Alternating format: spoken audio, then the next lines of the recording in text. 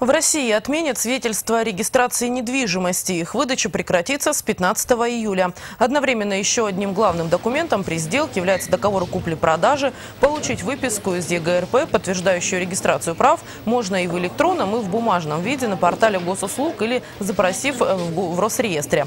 Однако их роль при сделках с недвижимостью уже сегодня минимальна. Нововведение направлено на, на предотвращение мошенничества. Документы на регистрацию прав можно подать в электронном виде или обратиться в офисы Росреестра, кадастровой палаты, в многофункциональные центры. Кстати, сегодня все больше организаций переводят документооборот в электронную форму. Например, в налоговой без личного визита теперь можно получить информацию об обязательных платежах, уведомления и квитанции на их оплату.